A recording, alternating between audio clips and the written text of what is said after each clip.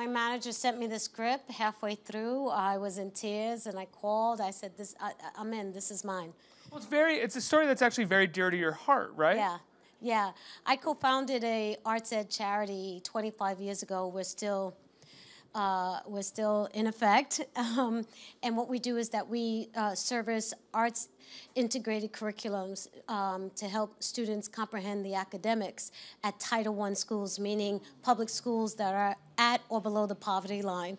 And we work closely inside the school with the principal, the teachers, and the students.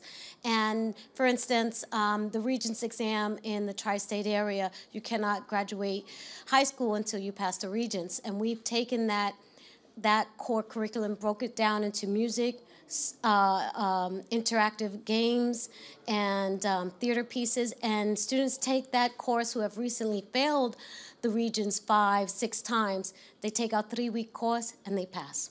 And so when I was reading the script Rise, I told the uh, writer, Jason Katims, I said, this is spot on.